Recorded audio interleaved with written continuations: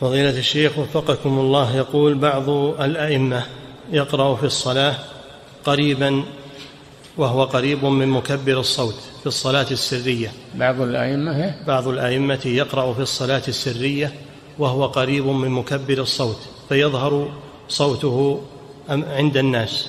يقول هل يجوز مثل هذا؟ لا هذا يشوش على الناس. هذا يشوش على الناس.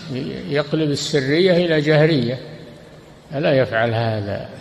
يبتعد عن الميكروفون لأن أكثر الأئمة يجعل فمه بالميكروفون ويزعق ويصرخ على الناس.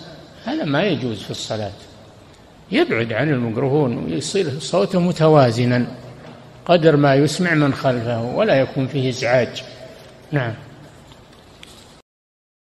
إعداد مشروع كبار العلماء بالكويت. أعزها الله بالتوحيد والسنة.